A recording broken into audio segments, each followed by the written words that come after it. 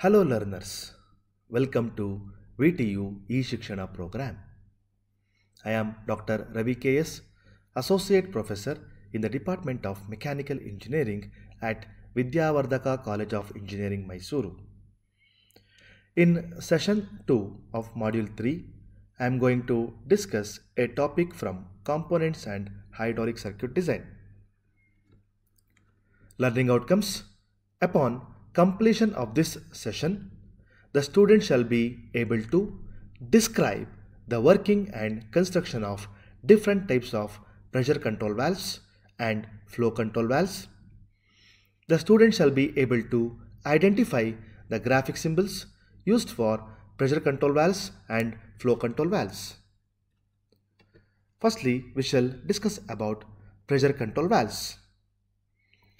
Pressure control valves are the safety devices that protects the fluid system from dangers of overpressures.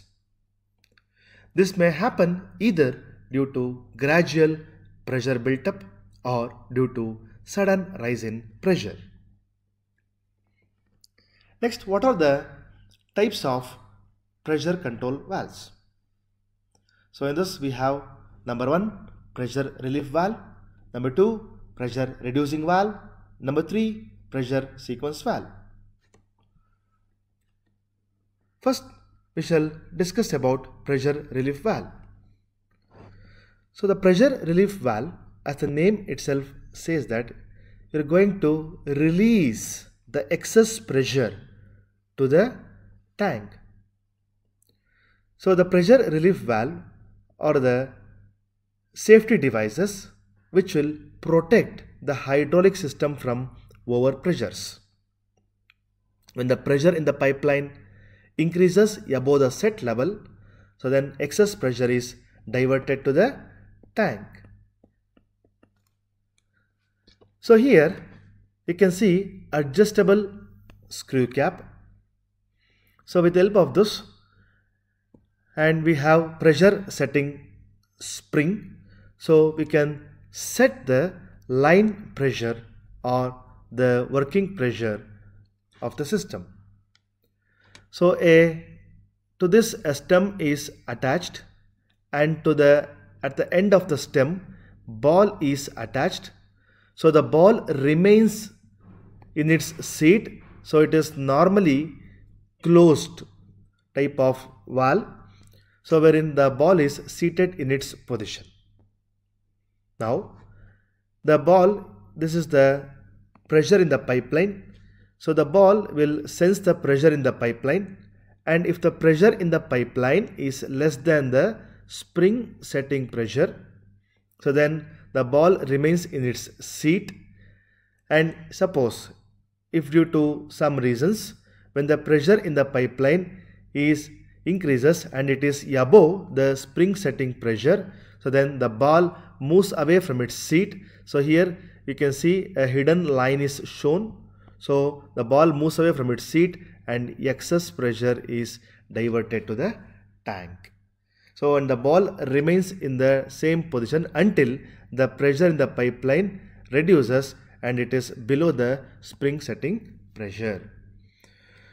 And afterwards the ball will move back and it will block the port opening and uh, normally it will be in closed position. So here you can see the symbol for the pressure relief valve. So a box is shown, a square is shown. So within the square a line is offsetted from the center and then you can set the pressure with help of this pressure setting and adjustable screw cap. And this is the line pressure. This line pressure is sensed by the ball. And here the excess pressure so it is this is connected to the tank here. The excess pressure is diverted to the tank. So here when the line pressure or the working pressure increases and when it is above the spring setting pressure so the ball moves away from its seat and then the excess pressure is sent back to the tank. So this is how a pressure relief valve works. And this is the corresponding symbol and this is the constructional details of a pressure relief valve. Next we shall discuss about pilot operated pressure relief valve or compound pressure relief valve or two-stage pressure relief valve. So here there are two valves. This one is the main valve and this is the pilot poppet valve.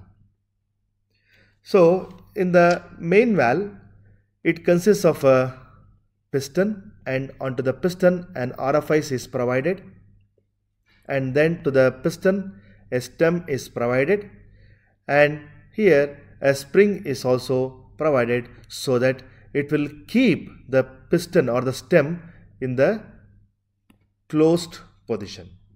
So it is again normally closed type of valve. So where this tank line is closed due with the help of this spring. And with help of the adjustment screw cap, you can set the line pressure. So here the poppet it remains in the closed position. So normally it closes this port opening and here the pilot spring here with the help of the adjustment screw you can set the pressure in the pipeline. Coming to the operation. So high pressure oil enters at this location and it will move over this orifice and it reaches the pilot line. So this poppet senses the pressure in the pilot line and when the pressure in the pilot line is less than the spring setting pressure so the poppet remains in the closed position and the oil pressure above the piston and oil pressure below the piston will be the same so that the piston will be hydraulically balanced and it will be in this position that is it closes the port opening.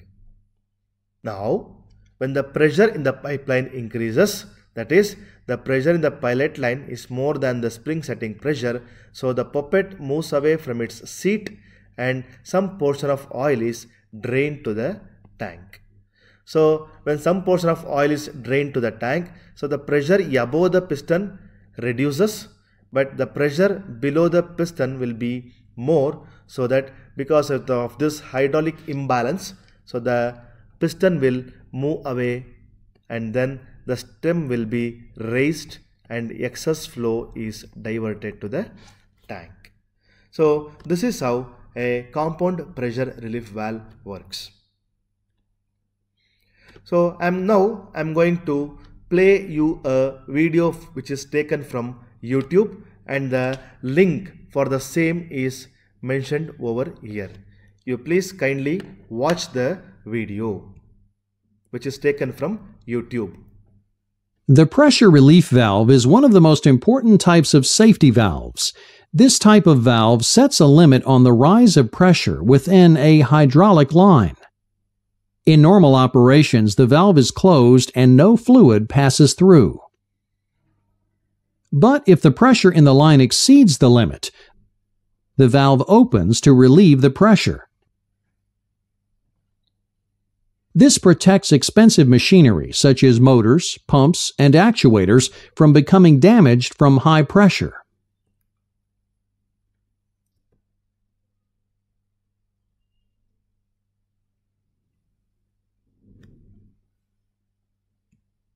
The pressure relief valve is one of the most important types of safety valves. This type of valve sets a limit on the rise of pressure within a hydraulic line. In normal operations, the valve is closed and no fluid passes through. But if the pressure in the line exceeds the limit, the valve opens to relieve the pressure. This protects expensive machinery such as motors, pumps, and actuators from becoming damaged from high pressure. Without a relief valve, pressure can continue to grow until another component fails and pressure is released. Pressure relief valves fall into two categories, direct acting or pilot operated. A direct acting relief valve is held closed by the direct force of a mechanical spring. The spring force holding the valve closed is opposed by the system hydraulic pressure. The cracking pressure is the minimum pressure at which the valve will begin to open. This pressure is set by changing the tension in the spring using an adjusting nut or knob. As long as the system operates at a pressure at or under the cracking pressure, the valve remains closed. If the hydraulic pressure increases even a small amount beyond this level, the valve begins to open and fluid begins to trickle through. The pressure at which the valve is fully open is called the full relief valve pressure and is higher than the cracking pressure. When the hydraulic fluid in the system reaches the full relief valve pressure, the valve will be fully open and all fluid is discharged through the outlet port. A pilot operated relief valve makes it possible to handle higher pressures and flow. It's also much smaller than direct acting valves rated for the same pressure. This valve has two stages. The first stage is composed of the main valve with a poppet and spring large enough to handle the maximum flow rating of the valve. The second stage is composed of a much smaller direct acting pilot valve, which includes a pilot relief poppet, pilot spring, and an adjustment knob. This smaller relief valve is usually mounted crosswise on the main valve body. As long as pump line pressure is less than the relieving pressure set on the control knob, the pilot poppet will remain closed. Since the pilot poppet is closed, the pressure in the main spring chamber is the same as the line pressure. Since these pressures are equal, there is no pressure drop from one side to the other, and the main poppet also remains closed. When line pressure increases higher than the relieving pressure, the pilot relief valve moves to its open position. This allows fluid to flow from the pressure side through the orifice and across the pilot relief valve to the tank. Once the pilot valve is open, there is now a pressure drop across the main valve poppet with a higher pressure on the pump line side. This causes the main poppet to move, allowing full flow through the relief valve. The same is true in reverse. As the pump line pressure decreases below the relief pressure set by the adjustment knob, the pilot valve will close. This allows the main spool to close and restores a balance of pressure. Relief valves can be used anywhere in a hydraulic circuit where it's necessary to prevent pressure from exceeding a maximum level. Advantages of direct acting valves are their low cost and fast response times to pressure spikes. Pilot operated relief valves are advantageous due to their smaller size and ability to work with higher system pressures and higher flows.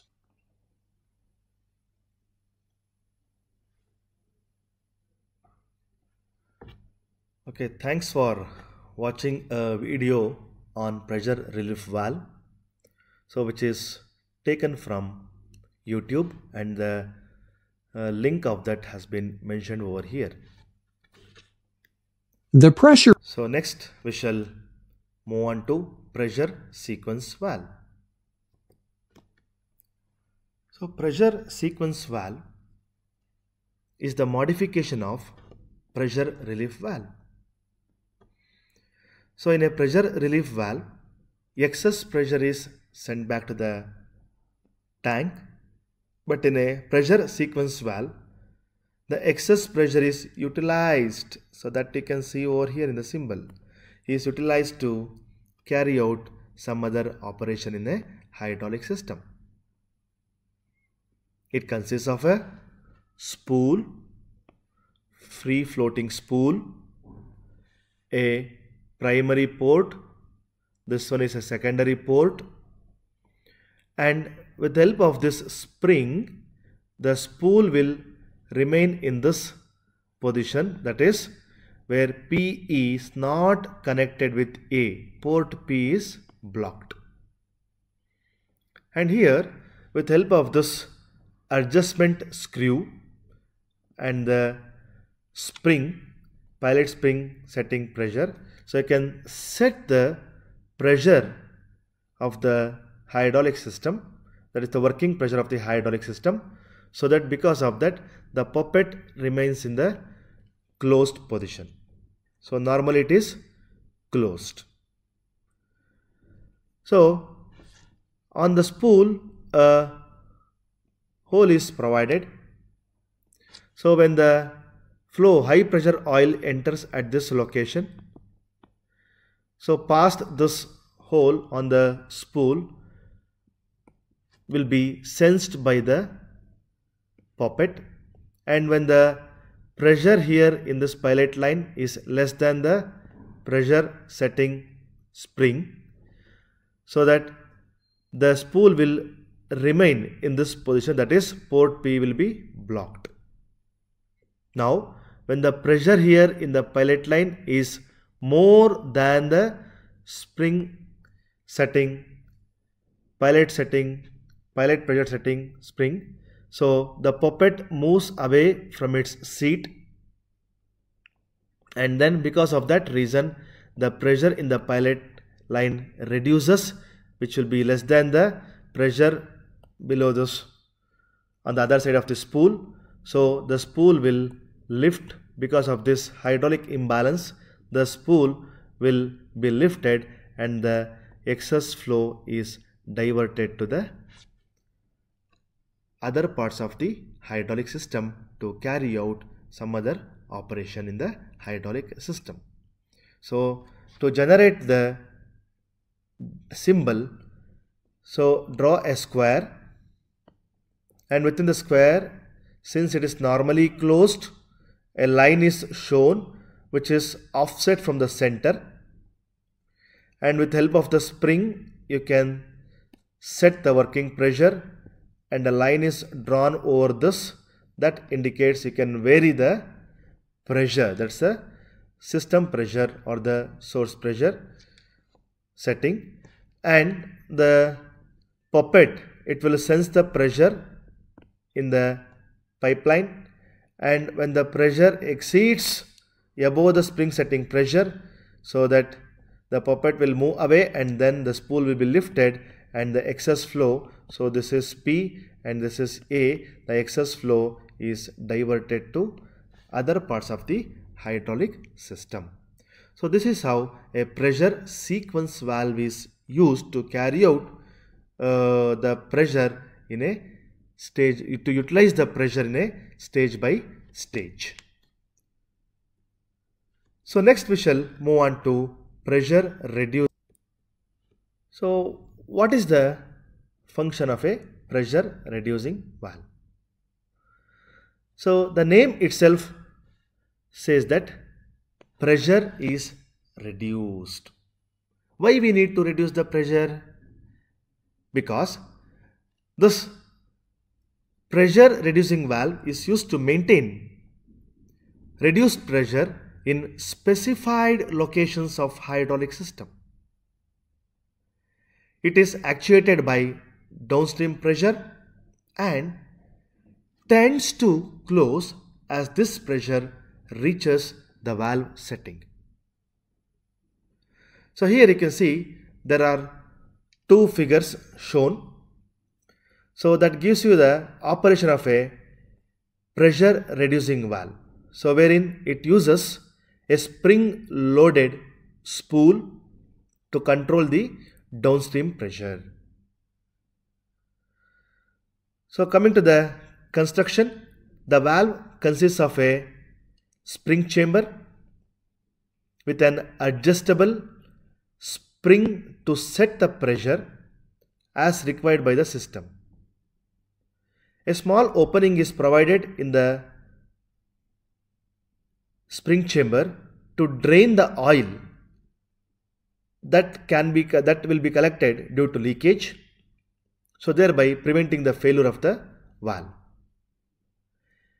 A free flow passage that is the bleed oil passage is provided through the valve from inlet to the outlet.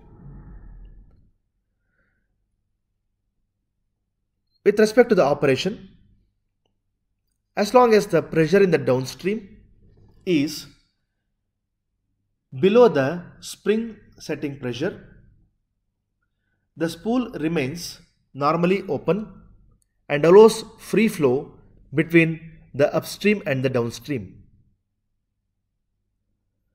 When the downstream pressure exceeds the valve setting spring pressure, the spool under this pressure moves partly to the right.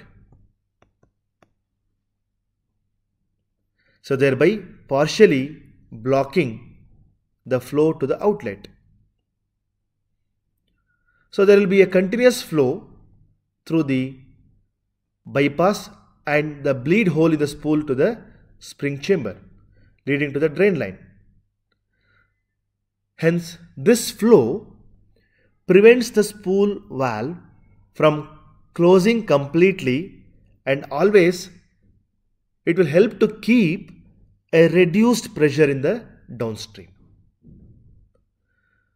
And you can see the corresponding symbol for pressure reducing valve. So here you can see it is a square is shown and the line here which is in line that is the line is not offset from the center. It is in line with the system pressure. So that indicates pressure reducing valve is a normally open type of valve. So that it will be sensing the pressure and then the at some specified location the pressure will be reduced or it will maintain the reduced pressures.